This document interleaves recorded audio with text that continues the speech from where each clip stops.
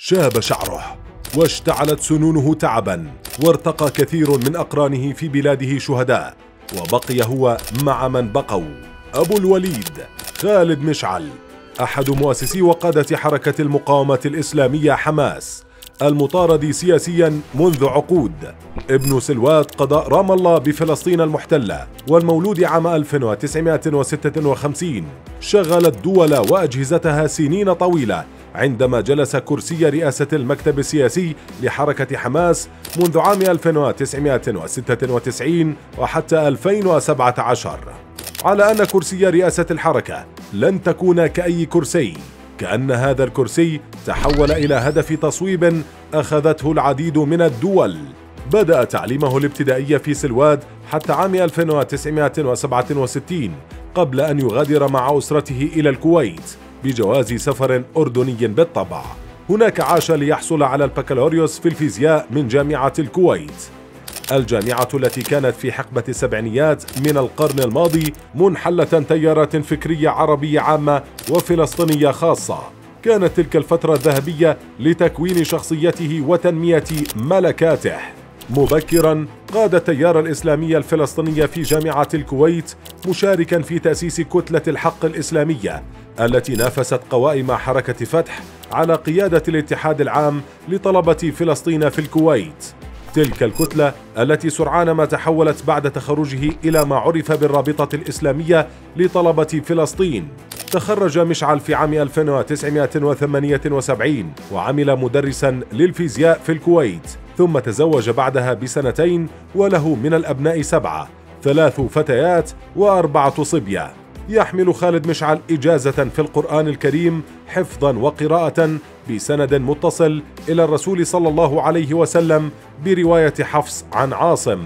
مبكرا انضم إلى جماعة الإخوان المسلمين الجناح الفلسطيني.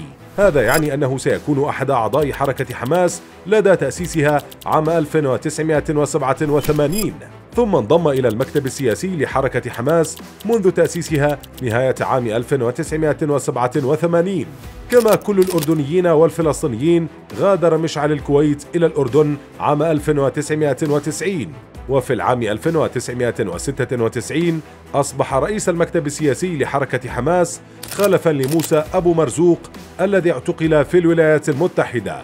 ولم يمضي سوى عام على تسلمه المنصب حتى تعرض لمحاولة اغتيال مشهورة في الخامس والعشرين من أيلول 1997 باستهدافه على يد الموساد الإسرائيلي بتوجيهات مباشرة من رئيس الوزراء الإسرائيلي بنيامين نتنياهو.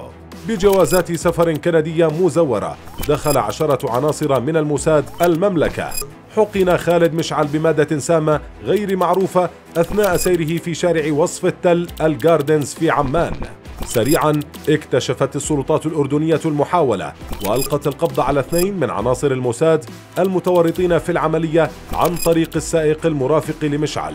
عرف الأردنيون حينها غضب الراحل الكبير الملك الحسين بن طلال على العملية. طلب الملك من رئيس الوزراء الإسرائيلي المصل المضاد للمادة السامة التي حقن بها خالد مشعل. فرفض نتنياهو مطلب الملك حسين في بادئ الأمر فأخذت محاولة اغتياله بعدا سياسيا. تدخل الرئيس الأمريكي بيل كلينتون وأرغم نتنياهو على تقديم المصل المضاد للسم المستعمل. رضخ نتنياهو لضغوط كلينتون في النهاية وقام بتسليم المصل المضاد. وصف الرئيس الأمريكي بيل كلينتون رئيس الوزراء الإسرائيلي بالكلمات التالية: لا أستطيع التعامل مع هذا الرجل، إنه مستحيل. ولاحقا جرت صفقة تبادل أطلقت فيها السلطات الأردنية عملاء الموساد مقابل إطلاق سراح الشيخ أحمد ياسين المحكوم بالسجن مدى الحياة في السجون الإسرائيلية. لاحقا وبعد طلب السلطات الأردنية من قادة حماس مغادرة المملكة.